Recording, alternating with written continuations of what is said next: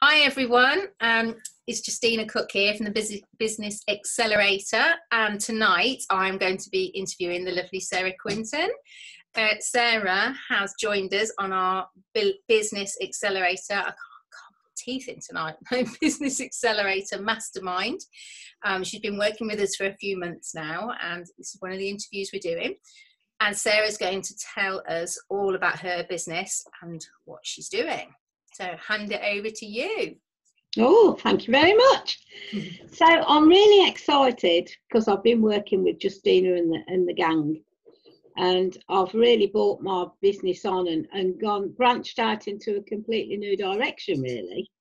Um, and I wouldn't have done that if I hadn't have been on the business accelerator. So it's really exciting.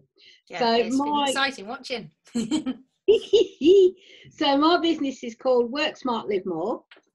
And what we do is we help people with no time, no money, and no plan to get the finances in order by giving advice and guidance on day to day spending, uh, household bills, and effective budgeting. So, this gives them more flexibility with time, money, and quality of life because people, I don't know, young people seem to be working all hours God sends and they've still got no money, and there must be a reason why. So yeah, uh, I dig point. deep into what they're doing, what they're what they're earning, what they're spending, and where all the money's going. Because Brilliant. a lot of people don't know. so we also offer advice on income generation. So by explaining different ways you can earn your money and how developing multiple income streams can change the way uh, that your work and also improve the quality of life and give you more time. Mm, so, totally. in a nutshell, that's what I'm doing. Mm, brilliant. I mean, I'm a great fan of multiple income streams. I think, and you've probably done the same there, haven't you? When you've been in a situation where you've got all your eggs in one basket, that's and then right. something happens. I mean, it happened to me. I had a bad accident. Um, and although actually I did have two income streams at that time, both of those required me to be physically active in that mm-hmm. job and yeah. I wasn't able to yeah. be that way so my income in effect stopped mm. so that is an issue but there can be you know lots of other reasons isn't there why you know why would you say people really need additional income streams nowadays wow the the classic one is what you said. I mean, if mm. you're working for an hour and getting paid for an hour, and if you don't go to work, you don't get paid. Yeah. Something happens, maybe you're ill, or I mean, I'm at the age now where my parents are elderly. I'm the only child, mm. so you know, I'm finding that I need to spend more time with them. Yeah. So, um, you know, and it's it's it's really good because I can do that. I don't have to go yeah. out to work because I've got lots of things going on and um, and it's it's how you earn your money as well. Mm. So the difference between linear income and passive income or residual income. Yeah. You know, linear income is if you work now you get paid for an hour, but if you don't work you don't get paid. Yeah. Passive income is something where you probably have to do a lot of work in the beginning. For instance, we've got a couple of rental properties, so that was quite a lot of work to get them up and running. But now they're running, it's yeah. it's changed our lives. Yeah. We don't yeah. have to go to work if we don't want to. So, yeah. You know, yeah. it's just one example of, of a different way of earning your money. Yeah, and I think there's um, you know, for people obviously people like yourself in that situation, you know, or for, for myself, you know, to cover you in event of an accident. Mm. But it can also top up your income. You know, maybe if you're in a career or, or, a job that you don't particularly enjoy or you know you've ended up going down a route and you think oh god now i'm so far down the line i, I don't really want to sort of retrain and go back to university again and things like that.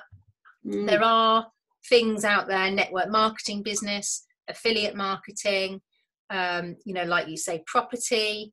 Yeah. Um, there's all sorts of things like that that can actually build you a residual style income, yeah. isn't there? Yeah. Um, and if you know if you if you have something like that and you build it and you know that your bills are paid every month, mm. it takes such a lot of stress out of life. Totally. And, and mm. that we're in that position now. You know, we know that the bills are paid every month. Yeah. And it's just my husband's a handyman and he can just go out and do what he wants to do. Yeah. don't want to work, doesn't have to. Exactly. And and that's the other thing, you know, it it gives you freedom mm. to make choices to do what you want to do. That's you know, right. whether it's you know, to top up your pension even. Mm. Or you know, maybe a lot of people now don't have pensions because not very many of them are very valuable mm. at the time you come to use them. That's right. Um, savings is the same, isn't it? So, mm. you know, a lot of people are looking at things like this to mm. top up their income um, for their pension. Yeah, there can be a whole host of reasons, can't there? You know, mums at home that actually, you know, maybe have got three kids, three or three mm. kids, and actually haven't physically got the time no. to fit into their day with all the school runs and everything else to be going mm. out to work with childcare being so expensive. Yeah, talking about young mums as well, it seems to be that they're kind of forced to go to work, and surely mm. there are some mums that would rather stay at home, yeah, be with their children than yeah. have to go back to work.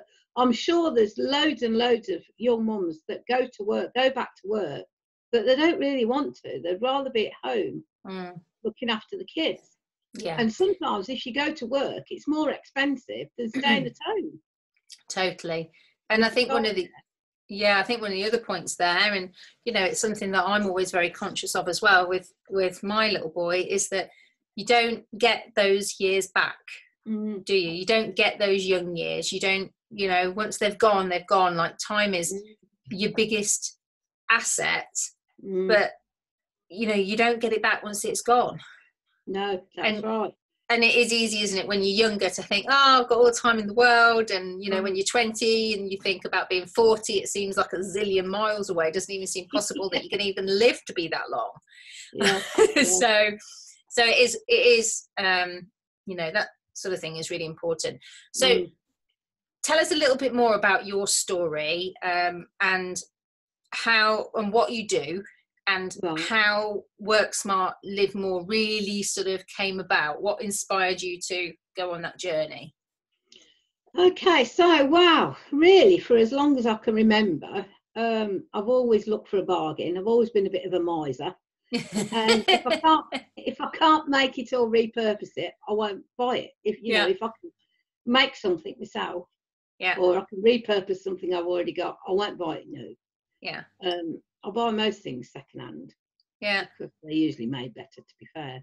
Yeah, true. Uh, but 10 years ago, we had just moved back from Italy. And we got oh, no were, you living, were you living in Italy? We lived in Italy for five years, yeah. Oh, okay. And then we came back in 2008. Yeah. With about £500 in the bank and uh, a transit van of um, furniture. Mm. And that's it. That's all we had. Right. We did have a house in Italy, but we couldn't sell it. Okay. It took us two years to sell it, so we did have to start from scratch.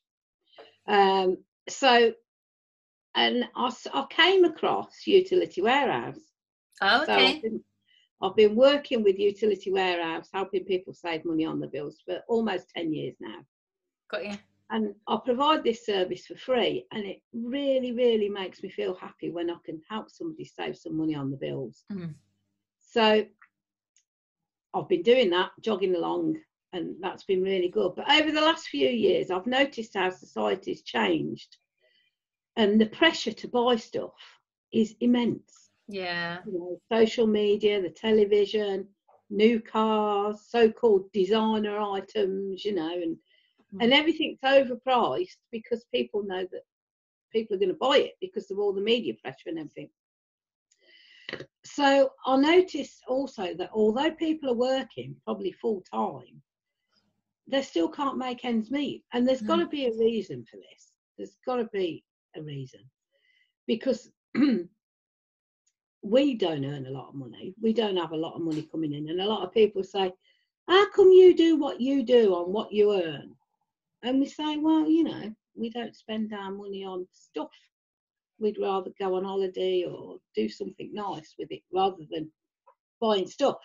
Yeah. So, um, so I believe it's because the reason people can't make ends meet is because of all this pressure and they're getting caught in a cycle of spend, spend, spend.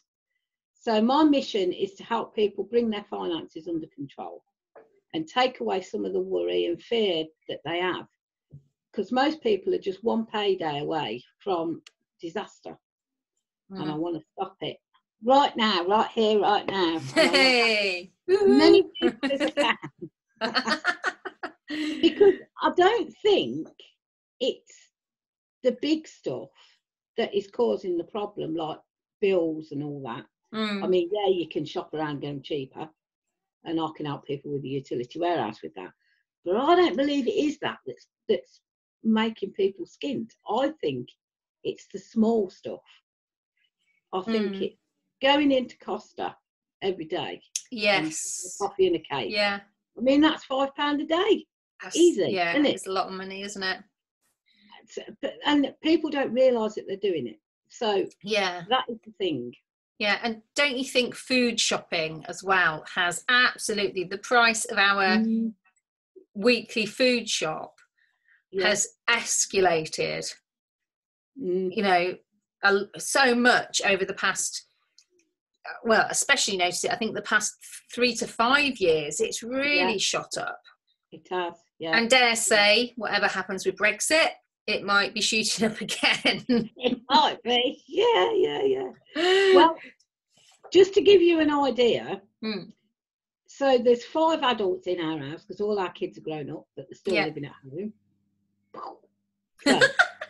There's, there's a minimum of five, yeah, and then with girlfriends and boyfriends and things, there's seven. And then if it's a full house on a Sunday, there's nine okay.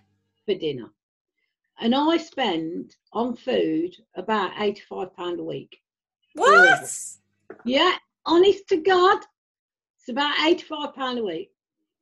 And we And do they- Do they have lunches there as well as dinners, or is that, Well, no, they're at work. yeah? But, um, So evening meals and breakfast. evening meal, breakfast, and Yeah. all you know, and lunches for you and the other half or whatever. grown up. The chocolate crisps. If there's Hmm. no chocolate or crisps in the cupboard or cakes in the fridge, I'll go. There's nothing, no food in this house. There's a riot. yeah, yeah. But I'll shop in Aldi's, and I've shopped in Aldi's Yeah. for over twenty years. Didn't even know they've been going that long, but yeah, we shop in Aldi's too. Well, Yeah. yeah, we sort of do a mix about.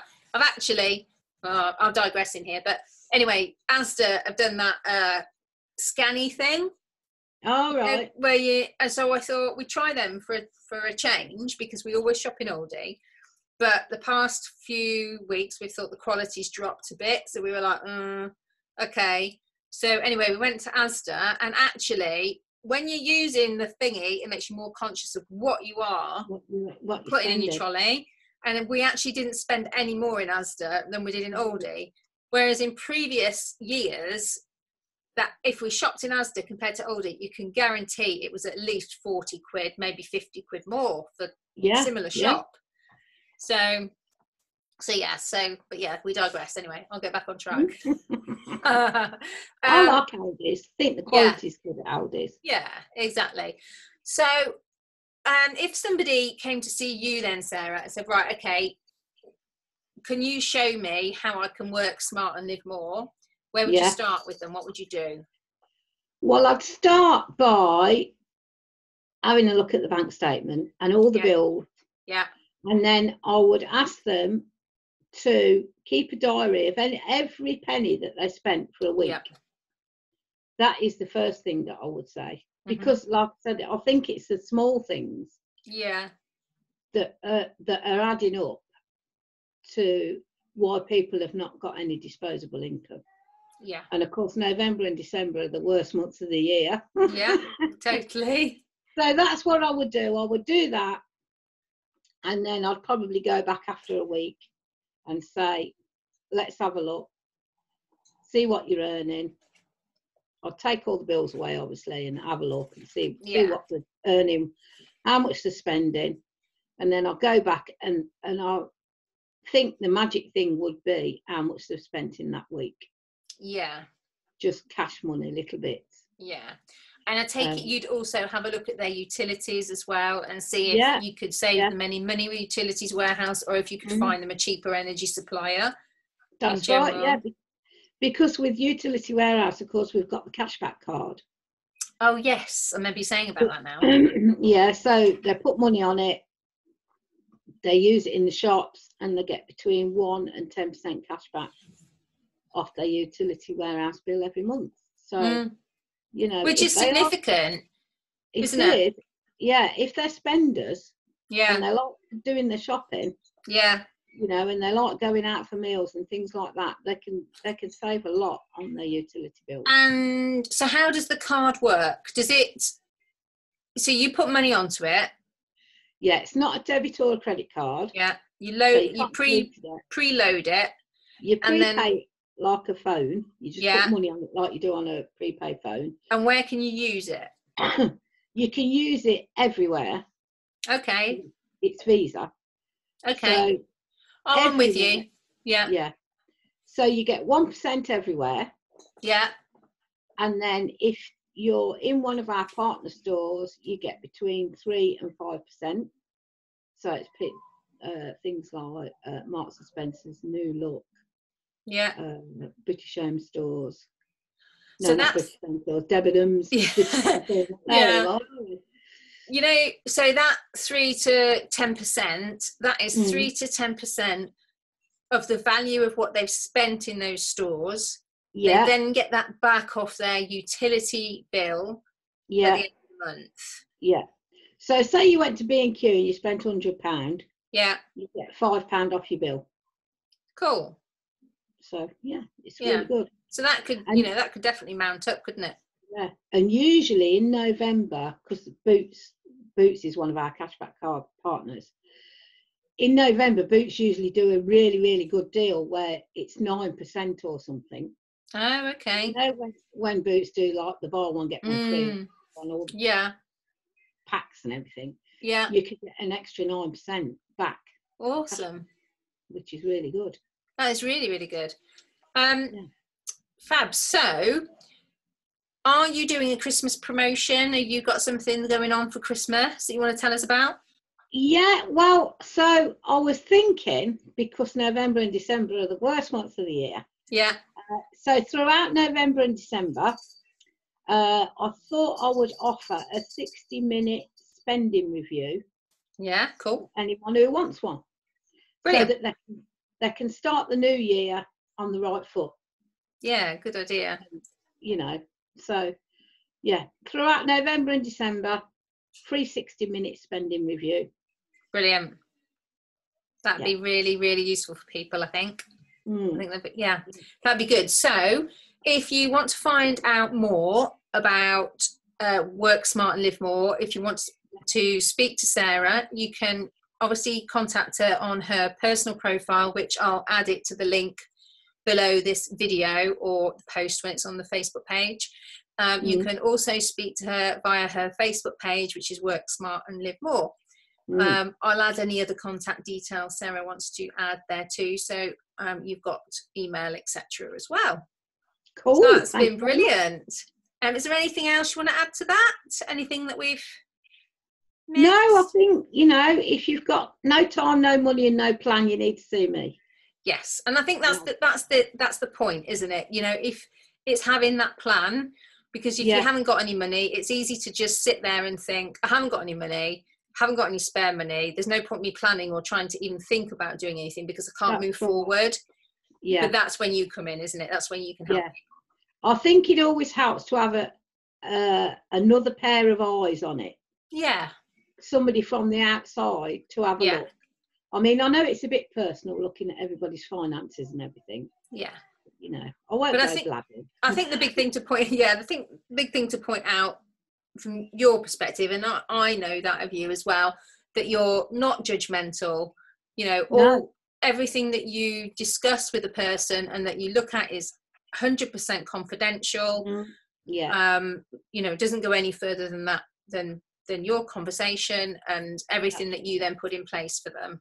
So, because yeah. a lot of people can feel embarrassed, can't they, if they've got themselves in a bit of a pickle or that's right. Yeah, whatever. don't be embarrassed because lots and lots of people are in the same boat.